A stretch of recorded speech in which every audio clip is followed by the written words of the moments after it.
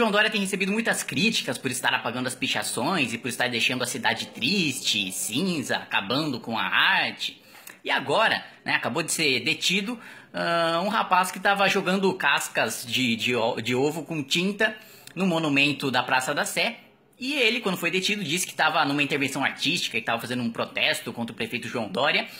E esse cara era Uh, Pedro do Amaral Souza, filho de José Stanislau do Amaral Souza Neto, diretor do Instituto Rio Branco. Ou seja, eles sempre dizem que, é, que essas pichações são expressões de arte, de cultura, da periferia e tal, mas na verdade, quem é que estava lá hoje vandalizando um monumento público era um playboy. Né? Era um cara que simplesmente, um socialista, um socialista de iPhone, que simplesmente não tinha mais o que fazer, que está supostamente revoltado com essa situação da cidade, que está sendo limpa, olha só que absurdo, onde já se viu o prefeito limpar pichações, o prefeito limpar intervenções artísticas feitas de maneira absolutamente ilegal.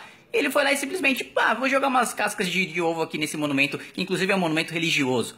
Então todo esse discurso da imprensa, essa implicância da imprensa com o Dória, simplesmente por ele estar tá apagando pichações, né, não passa de choro, de esperneio, porque eles sabem que não tem mais nenhuma margem para criticar o prefeito, né? Só tem, só tem uh, uh, essa ação que eles dizem que está indo contra a arte, né? Sendo que eles consideram pichação arte, eles consideram crime arte.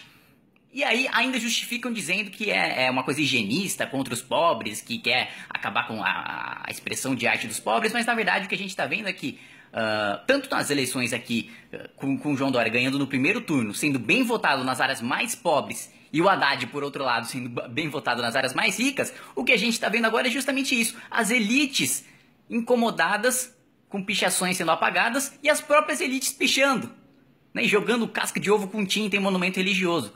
Então, essa gente precisa criar vergonha na cara. Né? É, é, óbvio que se tiver críticas válidas a ser feitas, elas vão ser feitas, inclusive por nós aqui da MBL, ao prefeito João Dória.